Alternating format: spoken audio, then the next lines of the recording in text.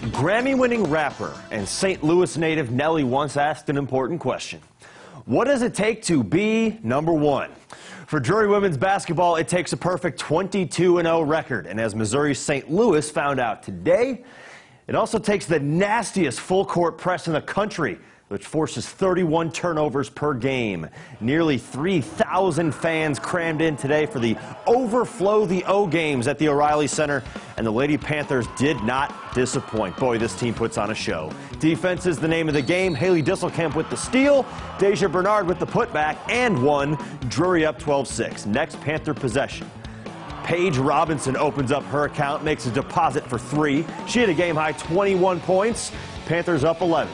Defense giving UMSL fifth. Diestelkamp sending that shot into the first row or into the bench. 36-14. Drury lead at halftime. 14 points at halftime. Second half, more of the same. Lauren Holmes with the steal. Like Steph Curry pulling up in transition for three.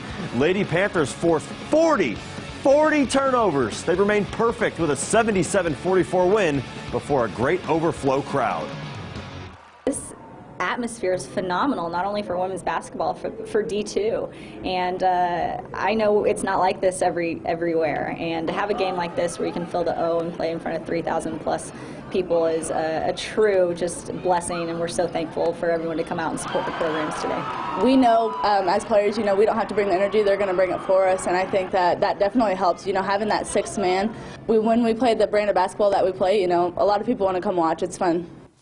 It sure is, Deja. The Drury men are also rolling. They're going for five straight wins today against UMSL. They were in trouble early, though. Anthony Hughes hits a corner three, puts the Tritons up 7 to 2 at the start, but the Panthers would settle in. Look at Bolivar native Conley Garrison bullying his way to the bucket for a three-point play. That cuts the deficit to just one.